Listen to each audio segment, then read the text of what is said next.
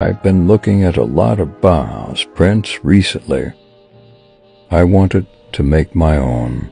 I thought I'd base them on these tenement buildings near my house. I chose a color palette. I drew some tenements.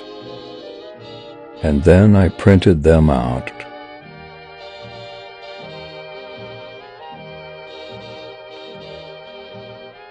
I think they came out pretty good. You guys bought a lot of them, and now I'm off to post them.